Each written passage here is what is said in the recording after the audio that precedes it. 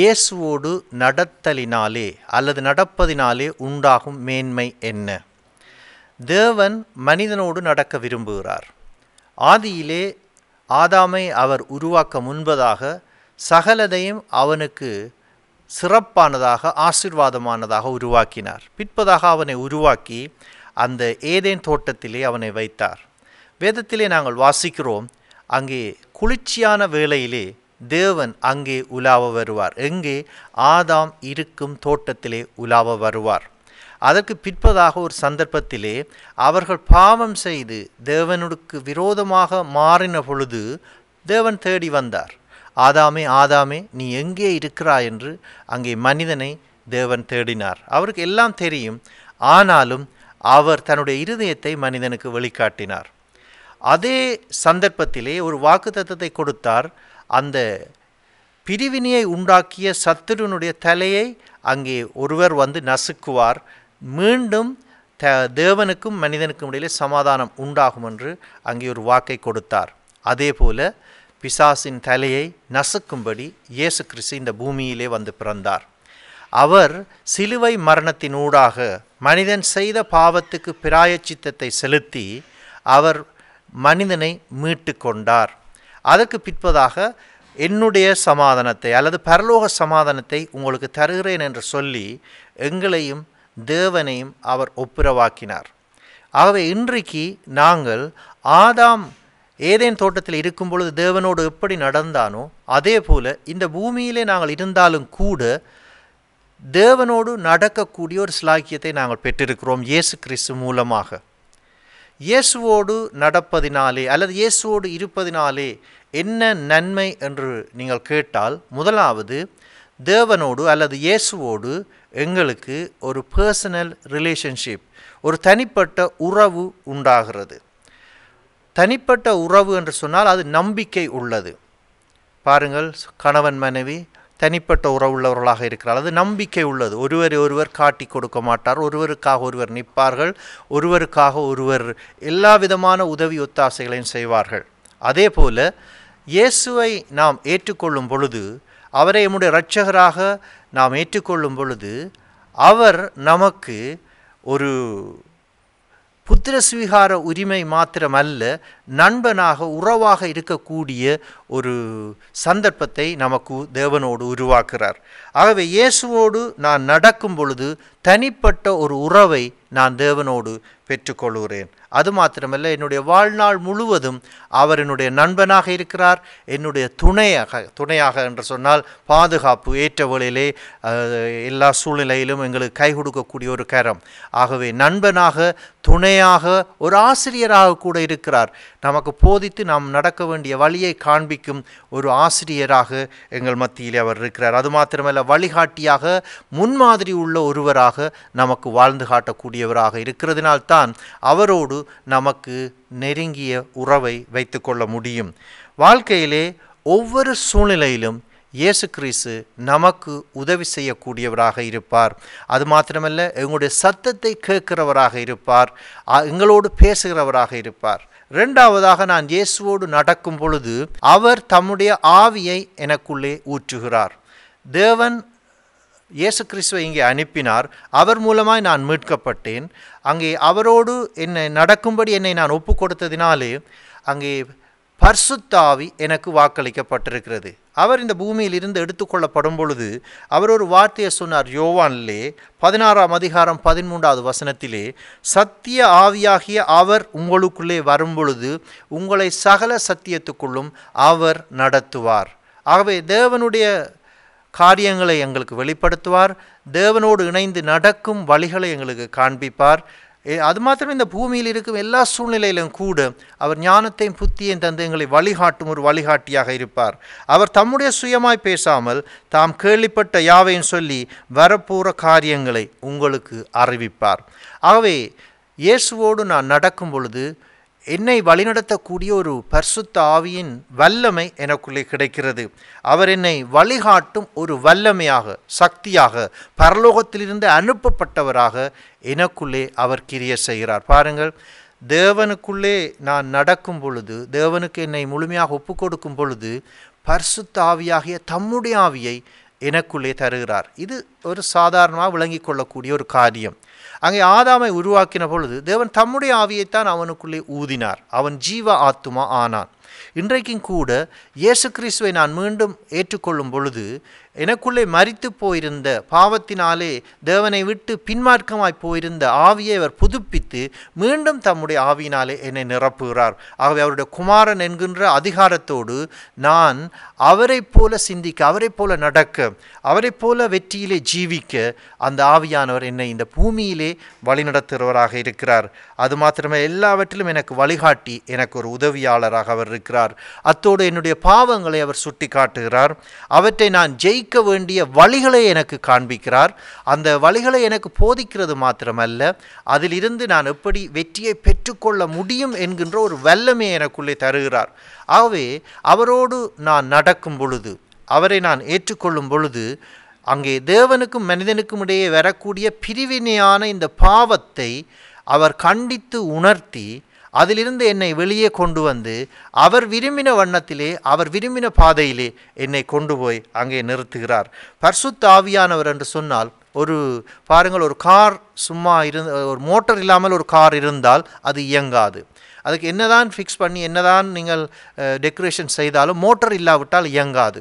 அங்கே மோட்டர் என்கின்ற அந்த வல்லமையை சக்தி அதற்குள்ளே நாங்கள் போடும் பொழுது உயரமான மலையான இடத்திலே கூட அந்த காரை அது ஏற்றி ஏற்றி செல்கிறது இதே போலத்தான் பரிசுத்தாவியானவர் என்னுடைய வாழ்க்கையில் ஒரு மோட்டரை போல என்னை எல்லா சூழ்நிலைக்குள்ளும் நடத்தி செல்லக்கூடிய ஒரு வல்லமை உள்ளவராக என்னை உள்ளவனாக என்னை மாற்றுகிறார். ஆகவே பரிசுத்தாவியானவர் எனக்குள்ளே வரும்பொழுது நான் செய்ய முடியாத நான் பயப்படுகின்ற எனக்கு பலவீனமாய் தோன்றுகின்ற எல்லா காரியங்களிலும் நான் முன்னோக்கி செல்லக்கூடியதாக அவர் என்னை வழிநடத்துகிறார். மூன்றாவது பாவத்தின் மீதும் எங்களை குழப்பி தடுமாற செய்கின்ற பலவித பலவீனங்கள் பிரச்சனைகள் மீதும் எங்களுக்கு வெற்றியை தருகிறார். பாவம் இந்த பூமிக்குள்ளே வர முன்பதாக எல்லாம் சமாதானமாகவும் நன்மையானதாகவும் மனிதனை ஆசிர்வதிக்கிறதாகவும் இருந்தது.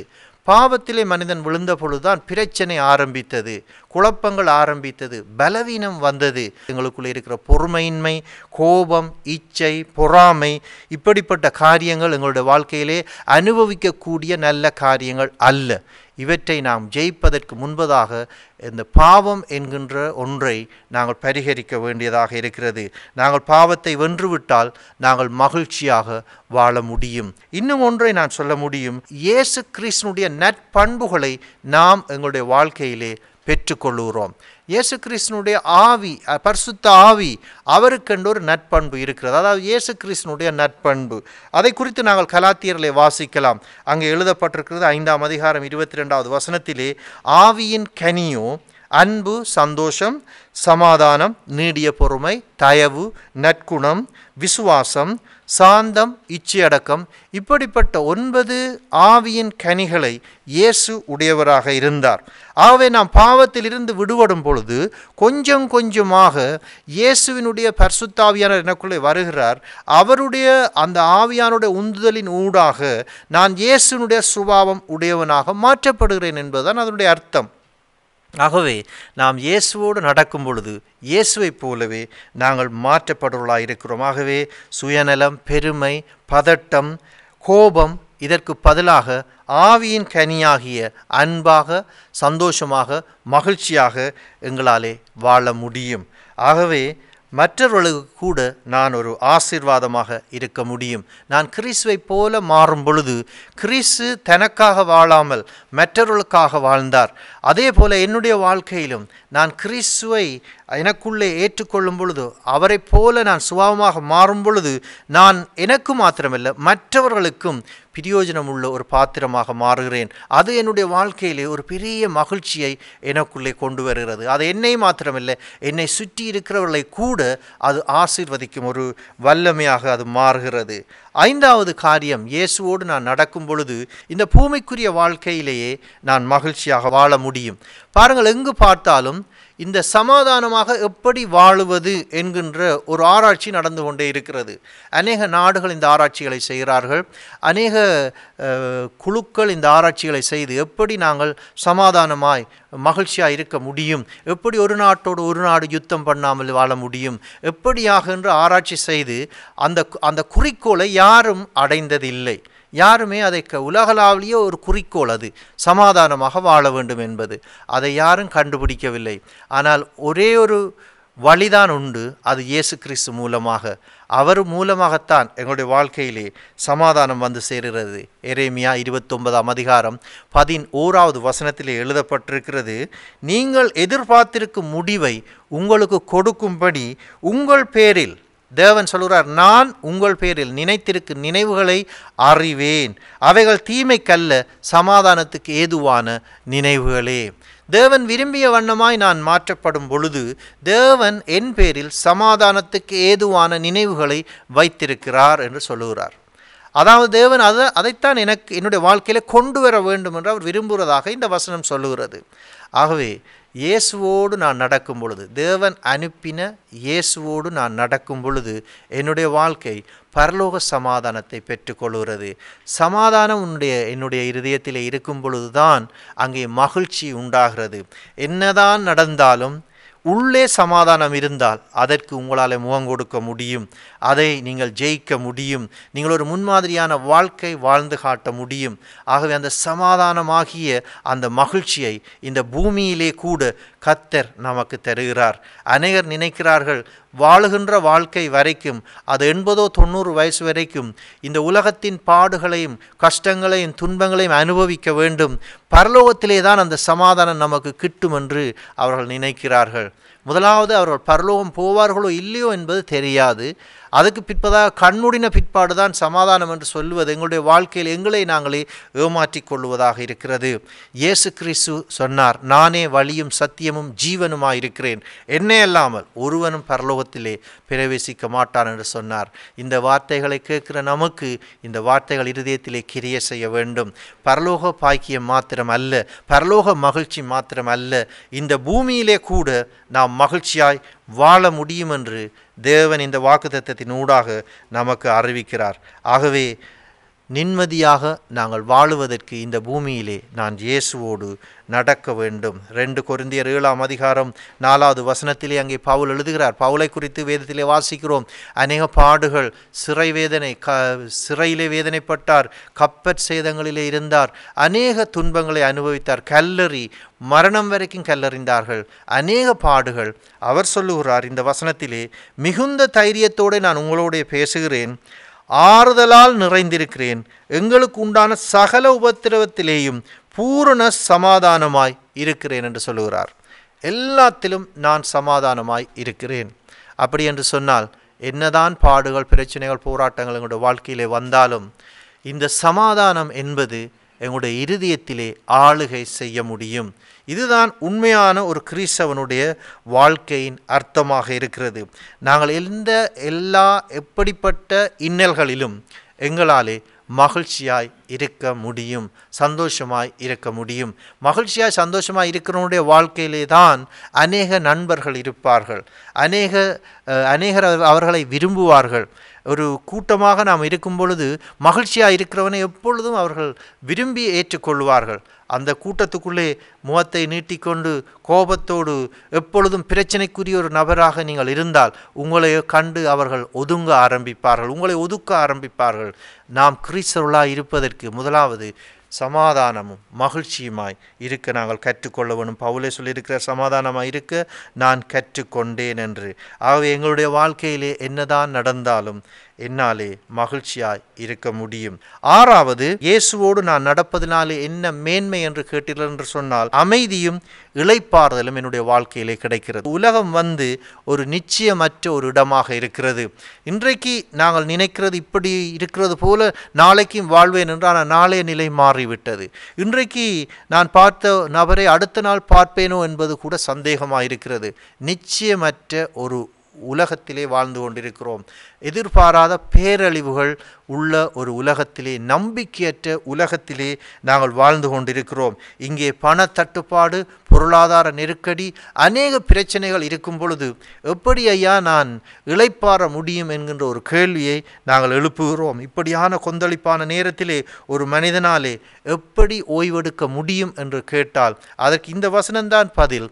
தேவனுடைய தீர்மானத்தின்படி அழைக்கப்பட்டவர்களாகிய உங்களுக்கு சகலமும் நன்மைக்கு ஏதுவாக நடக்கிறது என்று அறிந்திருக்கிறோம். இதனுடைய அர்த்தம் என்னவென்றால் உலகத்தில் எப்படிப்பட்ட காரியங்கள் நம்மை சுற்றி வலம் வந்து கொண்டிருந்தாலும் தேவனுடைய பிள்ளைகளாகிய நம்மை தேவன் பார்த்து கொள்ளுவார். எங்களுடைய காரியங்களை தேவன் சந்திப்பார்.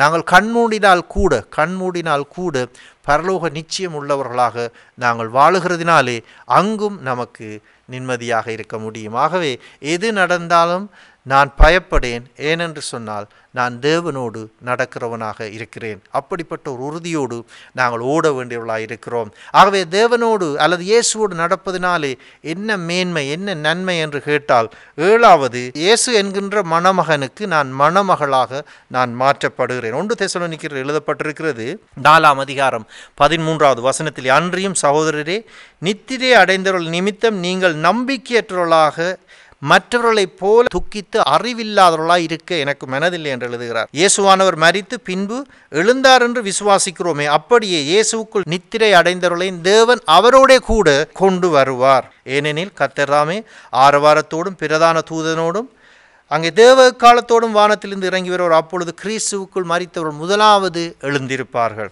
பின்பு உயிரோடு இருக்கும் நாமும் கத்தருக்கு எதிர்கொண்டு போக மேகங்கள் மேல் அவரோடு கூட ஆகாயத்தில் எடுத்துக்கொள்ளப்பட்டு இவ்விதமாக எப்பொழுதும் கத்தருடனே கூட இருப்போம். ஆகவே இயேசு என்கின்ற மணவாளன் வரும்பொழுது மணவாட்டியாகிய சபை எடுத்துக்கொள்ளப்படும் இந்த எடுத்துக்கொள்ளப்படுதலிலே அவரோடு நான் நடக்கின்றதின் நிமித்தமாக இந்த நன்மை என்னுடைய வாழ்க்கையிலே வந்து சேருகிறது. அப்போ சிலர் புஸ்தகம் நாலாம் அதிகாரம் பதிமூன்றாவது வசனத்திலே பேதிருவும் யோவானும் பேசுகிற தைரியத்தை அவர்கள் கண்டு அவர்கள் படிப்பறிவில்லாதவர்கள் என்றும் பேதமை உள்ளவர்கள் என்றும் அறிந்தபடியினாலே அங்கே ஆச்சரியப்பட்டு அவர்கள் இயேசுவோட கூட இருந்தவர்கள் என்று அறிந்து கொண்டார்கள். இங்கே பேதிருவும் யோவானும் பேசுகிறதை சுற்றி வர நிற்கிறவர்கள் பார்க்கிறார்கள். இவர்கள் மீனவர்கள் படிப்பறிவில்லாதவர்கள் பேதமை உள்ளவர்கள் அதாவது ஓர்டினரி பீப்புள் இப்படிப்பட்டவர்கள் பேசுகின்ற அந்த வார்த்தைகளையும் அதன் வல்லமையையும் அவர்கள் கண்டு ஆச்சரியப்பட்டார்கள். அதுக்கு பிற்பதாக ஒரு வெளிப்பாடு அல்லது ஒரு காரியத்தை விளங்கி கொண்டார்கள். அது என்னவென்றால் அவர்கள் இயேசுவோடு இருந்ததினால்தான் இப்படியான ஒரு வல்லமையை பெற்றுக்கொண்டார்கள் இப்படியாக துணிவாக அறிவாக பேசுகிறார்கள் என்று அங்கே அவர்கள் அறிந்து கொண்டார்கள் என்று நாங்கள் வாசிக்கிறோம். ஆகவே இயேசுவோடு இருப்பதாலே என்ன மேன்மை என்று சொன்னால் என்னுடைய படிப்போ பேதமையோ அல்லது எனக்கு இருக்கிற பலவீனமோ அல்ல தேவ வல்லமையினாலே நான் நிரப்பப்பட்டு தேவனுடைய சித்தம் செய்கிறவனாக நான் மாற்றப்படுகிறேன். ஆகவே அவர் என்னுடைய ஆத்ம நேசர் அவரோடு நான் இருப்பது ஒரு மகா பெரிய சிலாக்கியமாக இருக்கிறது. அங்கே இயேசுவின் மார்பிலே சாய்ந்திருந்தது அங்கே யோவான். யோவானை குறித்து நாங்கள் வாசிக்கிறோம் அவன் ஒரு மீனவன். மீனவனாகிய யோவான் அங்கே தேவனுடைய இயேசுவனுடைய சூஷனாக இருந்தாலும் கூட அவன் அங்கே தேவனுடைய தரிசனங்களை காணுகிறவனாக இருந்தான். இயேசுனுடைய மகிமையை கண்டான். அவர் அங்கே ஒரு மலையிலே பேதுருவையும் யாக்கோவையும் யோவானையும் அழைத்து கொண்டு போகிறார். அங்கே இயேசு அந்த இடத்திலே மறுரூபமாகிறார். அவருடைய சரீரம் வெண்மையாக மாறுகிறது. மறுரூபமாகிய இயேசுவை அவன் காணுகிறான். அது மாத்திரமில்லை அங்கே மோசே எலியா அங்கே இயேசுவோடு பேசுவர்களாக காணப்படுகிறார்கள். இப்படிப்பட்ட ஒரு வல்லமை உள்ள தேவ தீர்க்கதரிசிகள் மோசே இஸ்டவேல் ஜனங்களை எகிப்திலிருந்து அங்கே அடிமைத்தனத்திலிருந்து அநேக அற்புதங்கள் அடையாளங்களின் ஊடாக செங்கடலை பிளந்து அங்கே இஸ்ரவேல் ஜனங்களை வனாந்தரத்தின் ஊடாக வழிநடத்தின ஒரு வல்லமுள்ள மா மனிதர் அவரை தரிசித்தார்கள். அங்கே எலியா தீர்க்கதரிசி ஒரு பெரிய தீர்க்கதரிசி வல்லமை உள்ள ஒரு தீர்க்கதரிசி வானத்தை அங்கே மழை பெய்யாதபடி அடைத்தவன் அங்கே மழை பெய்யும்படி வானத்தை திறந்தவன் வானத்திலிருந்து அக்கினியை இறக்கினவன். இப்படிப்பட்ட வல்லமுள்ள எலியா தீர்க்கதரிசி அங்கே இயேசுவோடு பேசுகிறதை அவர்கள் கண்டார்கள். அது மாத்திரமில்லை நாங்கள் வாசிக்கிறோம் அங்கே தேவனுடைய சத்தம் உண்டானது. இவர் என்னுடைய நேசகுமாரன் இவரிலே பிரியமாக இருக்கிறேன் என்று ஒரு சத்தம் உண்டானது. அங்கே அவர்கள் இயேசுனுடைய மறுரூபத்தை கண்டார்கள். அது மாத்திரமல்ல தீர்க்கதரிசிகளாகிய பெரிய மனிதர்களை கண்டார்கள். அது மாத்திரமல்ல தேவனுடைய சத்தத்தை கேட்டால் யார் இவர்கள்? இவர்கள் அங்கே மீன் பிடிக்கிற படிப்பறிவில்லாத பேதமை உள்ளவர்களாக இருந்தாலும் நாங்கள் பார்க்குறோம். இயேசுவோடு நீ நடக்கும் பொழுது உன்னுடைய வாழ்க்கையை அவர் மாற்றி விடுகிறார். பேதுருவை எடுத்துக்கொள்ளுங்கள் பேதுருவும் அப்படித்தான். படிப்பறிவில்லாத பேதமை உள்ள ஒரு மனிதன். ஆனால் அவனுடைய பாஷையே மாறிவிட்டது. அவனுடைய பேச்சே மாறிவிட்டது. அவன் எழுந்து நின்று தன்னுடைய சீசரோடு நின்று பேசும் பொழுது அங்கே மூவாயிரத்துக்கும் அதிகமானோர் அங்கே ரட்சிக்கப்பட்டால் இயேசுவை தேவனை ஏற்றுக்கொண்டார்கள். ஞான ஸ்ஞானம் எடுத்தார்கள் என்று நாங்கள் வேதத்திலே வாசிக்கிறோம். அவனுடைய பேச்சும் அதன் வல்லமையும் ஒரு வித்தியாசமானதாக இருந்தது. காரணம் அங்கே இயேசுவோடு இருப்பதினாலே அந்த மேன்மை அவனுக்கு கிட்டியது. திரும்பவுமாக இன்னும் ஒரு கூட்டத்திலே பேசும் பொழுது அங்கே ஐயாயிரம் பேர் அதுவும் அந்த நாளிலே இந்த நாட்களிலே மூவாயிரம் ஐயாயிரம் ரட்சிக்கப்படும் சொல்லும் பொழுது நாங்கள் ஏற்றுக்கொள்கிறோம்.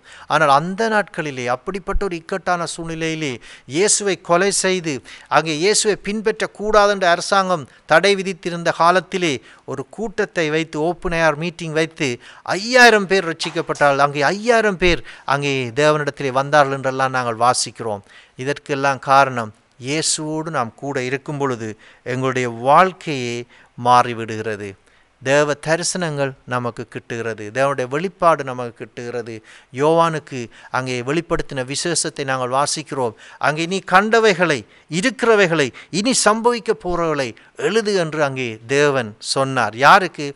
படிப்பறிவில்லாத பேதமை உள்ள ஒரு மனிதனுக்கு நடக்கப்போகிற சம்பவத்தை உலகத்தின் முடிவுகளை அங்கே தேவன் வெளிப்படுத்தி அதை எழுதும்படி சொன்னார் என்று நாங்கள் வாசிக்கிறோம். ஆகவே தேவனோடு இருப்பதென்று சொன்னால் யோவான் முதலாம் அதிகாரம் பன்னெண்டாவது வசனத்தில் எழுதப்பட்டிருக்கிறது அவருடைய நாமத்தின் மேல் விசுவாசம் உள்ளவர்களாய் அவரை ஏற்றுக்கொண்டவர்கள் எத்தனை பேர்களோ அத்தனை பேர்களுக்கும் அவருடைய புத்திரராகும்படி அவர்களுக்கு அதிகாரம் கொடுத்தார். நாங்கள் அதிகாரம் பெற்ற மக்கள் தேவனுடைய area பிள்ளைகள் என்கின்ற அதிகாரமுடைய மக்களாக இருக்கிறோம். வல்லமை உள்ள மக்களாக இருக்கிறோம். பிசாசின் வல்லமைகளை சுலபமாக மிதிக்கக்கூடிய ஜனங்களாக நாங்கள் இருக்கிறோம். இதெல்லாம் நமக்கு தெரியாமல் ஏதோ கவலையோடும் துக்கத்தோடும் கண்ணீரோடும் நாங்கள் வாழ்ந்து கொண்டு இருப்பது எவ்வளவு ஒரு வேதனைக்குரியது பாருங்கள். தே இயேசுவோடு நாங்கள் நடக்க அழைக்கப்பட்டிருக்கிறோம். இயேசுவை போல அது என்னை மாற்றுகிறது. இயேசுடைய வல்லமையினால் நான் தரிப்பிக்கப்படுகிறேன். இயேசுவை சொல்லியிருக்கிறார் என்னை விட பெரிய காரியங்களை நீங்கள் செய்வீர்கள். யார் அப்படி சொல்லுவார்கள்?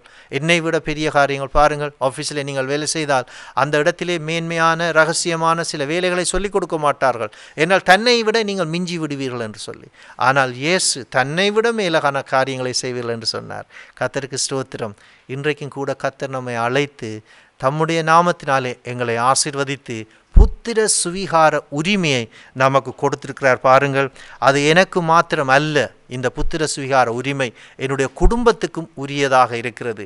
நான் ஆசிர்வதிக்கப்படும் பொழுது என்னுடைய குடும்பம் என்னுடைய சபை ஆசிர்வதிக்கப்படுகிறது. அங்கே பவுலும் சீலாவும் சிறையிலே இருந்த பொழுது அங்கே தேவனுடைய வல்லமையினாலே அந்த அவர்கள் விடுதலையாக்கப்பட்டார்கள். ஒரு பூமி அதிர்ச்சி உண்டானது போல இருந்தது. சிறைச்சாலை கதவுகள் எல்லாம் நடுங்கி திறவுண்டது. அந்த வேளையிலே நாங்கள் பார்க்கிறோம் அந்த சேவகன் வந்து அங்கே இவர்களோடு பேசுகிறார். ஆண்டவமாரே நான் என்ன செய்ய வேண்டும்? விடுதலை ஆவதற்கு நான் என்ன செய்ய வேண்டும்? அதற்கு அவர்கள் சொல்லுகிறார்கள் கத்தராகிய இயேசுவை விசுவாசி அப்பொழுது நீயும் உன் வீட்டாரும் ரட்சிக்கப்படுவீர்கள். ஆகவே நீ மாத்திரமல்ல உன்னுடைய வீட்டாரும் அங்கே ரட்சிக்கப்படுவார்கள் மீட்டுக்கொள்ளப்படுவார்கள் என்று எழுதப்பட்டிருக்கிறது. அதற்கு பிற்பதாக நாங்கள் வாசிக்கிறோம் அவர்கள் இயேசுவை யாரு? சிறையிலே அடைத்து வைத்தவர்கள். இப்பொழுது அங்கே இந்த ஊழியக்காரரை வீட்டை அழைத்து சென்று அங்கே தேவனுடைய வார்த்தையை கேட்டார்கள். அவர்களுடைய குடும்பம் ரட்சிக்கப்பட்டது வசனம் சொல்லுகிறது அவர்கள் குடும்பத்தோடு மகிழ்ச்சியாய் இருந்தார்கள் என்று எழுதப்பட்டிருக்கிறது. ஆகவே இந்த புத்திர சுவிகார உரிமை எனக்கு மாத்திரமல்ல என்னுடைய குடும்பத்துக்கும் மகிழ்ச்சியை கொண்டு வருகின்ற ஒரு வல்லமை உள்ளதாக இருக்கிறது. லூக்கா எட்டாம் அதிகாரத்தில் நீங்கள் வாசித்து பார்க்கலாம். இருபத்தி ஏழாவது வசனத்திலே அங்கே அநேக நாட்களாக பிசாசு பிடித்த ஒரு மனிதனை குறித்து எழுதப்பட்டிருக்கிறது. அவனை குறித்து சில குறிப்புகள் எழுதப்பட்டிருக்கிறது. அவன் வஸ்திரம் தெரியாதவன். ஏனென்று சொன்னால் அவனுடைய புத்தி மயங்கிவிட்டது. புத்தி குழம்பி விட்டது. அதனாலே அவன் வஸ்திரம் தெரியாதவன் வீட்டிலே தங்காதவன் அநேக பிசாசினால் பீடிக்கப்பட்டவன் அவன் கல்லறையிலே வாழுகிறவனாயிருந்தான். குழப்பமான ஒரு வாழ்க்கை. இப்படிப்பட்ட மனிதனை இயேசு சந்திக்கிறார். இயேசு சந்தித்த பொழுது அவனுக்குள்ளே இருந்த அசுத்தாவியை அவர் விரட்டுகிறார். அதற்கு பிற்பதாக நாங்கள் வாசிக்கிறோம் அவன் புத்தி தெளிந்தவனாக இயேசுவின் பாதத்திலே உட்கார்ந்திருந்தான். அந்த கிராமத்து ஜனங்களெல்லாம் கேட்டு ஆச்சரியப்பட்டார்கள். அவர்கள் எல்லோரும் இயேசுவை இப்படியான சம்பவம் நடந்திருக்கே அவனை பார்க்கும்படி ஓடி வந்தார்கள். அங்கே வந்த இடத்திலே அவர்கள் பார்த்தால் அவன் புத்தி தெளிந்து கவனியுங்கள் புத்தி தெளிந்து இயேசுவின் பாதத்திலே உட்கார்ந்திருந்தான். நான் இயேசுவோடு நடக்கும் பொழுது மேன்மையான ஆசிர்வாதங்களை குறித்து நான் பேசிக்கொண்டு வருகிறேன். மு- மிக முக்கியமானது என்னுடைய புத்தி தெளிகிறது.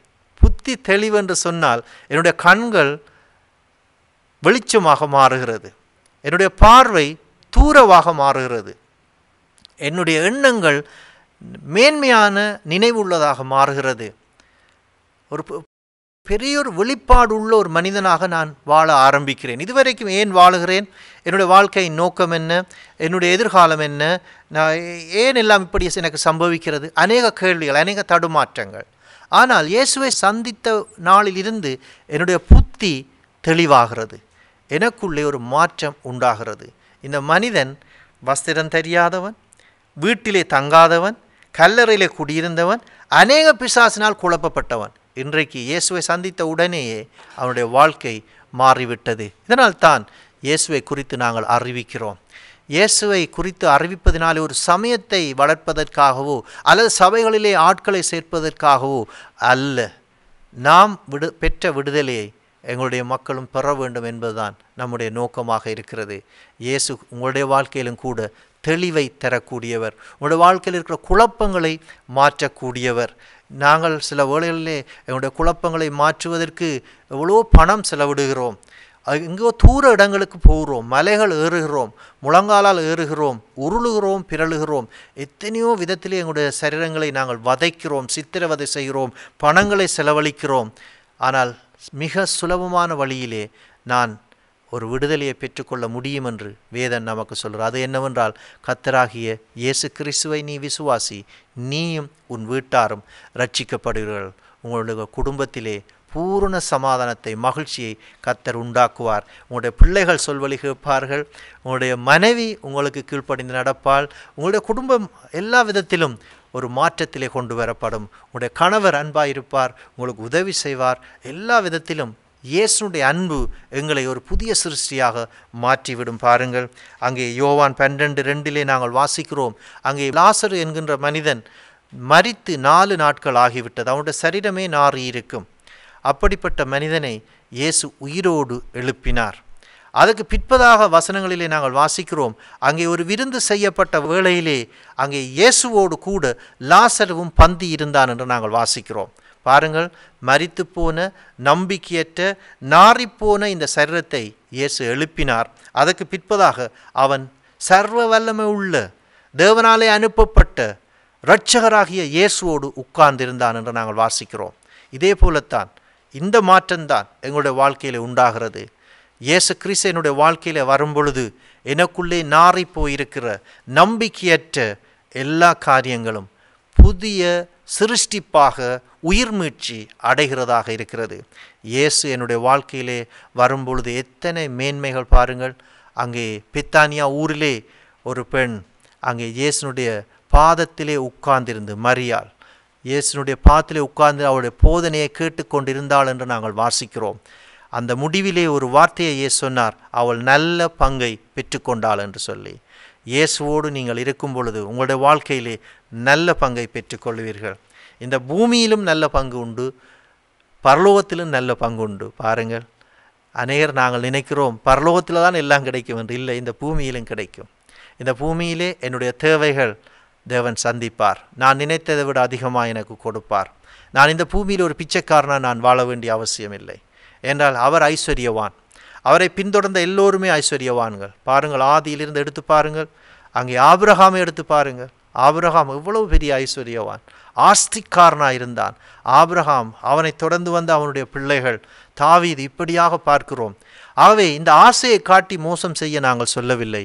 நாங்கள் இந்த பூமியிலே இயேசுவோடு நடக்கும் பொழுது இந்த பூமிக்குரிய ஆசிர்வாதங்களும் பரலோகத்துக்குரிய ஆசிர்வாதங்களும் நமக்கு உண்டு. பாருங்கள் இந்த பூமியிலே ஒன்றும் உங்களுக்கு கிடைக்காது. நீங்கள் ஏழைகளாகவும் வியாதியஸ்தர்களாகவும் சுரண்டி கொண்டு வாழ்ந்து பரலோகத்தில் தான் நன்மை கிடைக்கும் என்றால் யாரும் தேவனை தேட மாட்டார்கள். ஐயா இன்றைக்கு இருக்கிற பிரச்சனைக்கு வழியை சொல்ல அதுக்கு பிறகு அதை பார்க்கலாம்னு தான் சொல்லுவார்கள். ஆகவே நம்முடைய தேவன் அன்புள்ளவர். அவர் நம்மை புரிந்து கொண்டவர் நம்முடைய தேவைகளை அறிந்தவர் நம்முடைய சிக்கல்கள் அவருக்கு தெரியும் நம்முடைய பிரச்சனைக்கு அவரிடம் வழி உண்டு. இயேசு உங்களுடைய வீட்டின் தலைவனாக இருந்தால் உங் நீங்கள் ஒரு முன்மாதிரி உள்ள ஒரு வாழ்க்கை வாழுவீர்கள். அநேகர் சொல்லுவார்கள் இவர்களைப் போல நாங்கள் வாழ வேண்டும் என்று சொல்லுவார்கள். வேதத்திலே சொல்லப்படுறது தேவன் உங்களோடு கூட இருக்கிறார் என்று நாங்கள் அறிகிறோம். அதனால் உங்களோடையே வருவோம் என்று சொல்லும் நாட்கள் உருவாக்கப்படும் என்று நாங்கள் வேதத்திலே வாசிக்கிறோம். அதே போல அது இந்த நாட்களாக இருக்கிறது. இயேசு சீஷரோடு இருக்கும் பொழுது அவர்கள் சமாதானமாக இருந்தார்கள் ஒரு சந்தர்ப்பத்தில் இயேசு அவரோடு இல்லாத பொழுது அவர்களுக்குள்ளே சச்சரவு உண்டானது. யார் பெரியவன்? நீ பெரியவனா? நான் பெரியவனா? நான் பெரியவனா? நீ பெரியவனா? அங்கே ச சச்சரவு உண்டானது. அங்கே இயேசு திரும்ப வந்த பொழுது அவர்களுக்கு தாழ்மையை கற்றுக் கொடுத்தார். அவர் கேட்டார் பந்தி இருக்கிறவனா அல்லது பந்தி இருக்கிறவனுக்கு சேவை செய்கிறவனா அதாவது உணவு பரிமாறுகிறவனா பெரியவன் என்ற ஒரு கேள்வியை கேட்டார். அதுக்கு அவர்கள் சொன்னார்கள் பந்தி இருக்கிறவன் தானே சாப்பிடும்படி இருக்கிறவன் தானே பெரியவன். அப்பொழுது ஏசு சொன்னார் பாருங்கள் நான் பந்தி இருக்கிறவனாக வரவில்லை நான் சேவை செய்கிறவனாக வந்தேன். நம்முடைய குருவே சேவை செய்கிறவராக தாழ்மை உள்ளவராக இருக்கும் பொழுது குருவை போலத்தான ஐயா இருப்பான். தாயைப் போலத்தான் பிள்ளை இருக்கு நூலைப் போலத்தான் சேலை இருக்கும் என்று சொல்லுவார்கள். இதே போலத்தான் நம்முடைய இயேசுடைய முன்மாதிரியை உடையவர்களாக நாங்கள் இருக்கும் பொழுது நம்முடைய வாழ்க்கையில் மாத்திரமல்ல நம்முடைய குடும்பத்திலும் நம்முடைய எல்லா சூழ்நிலைக்குள்ளும் அவர் சமாதானத்தையும் மகிழ்ச்சியையும் சந்தோஷத்தையும் தர போதுமானவராக இருக்கிறார்.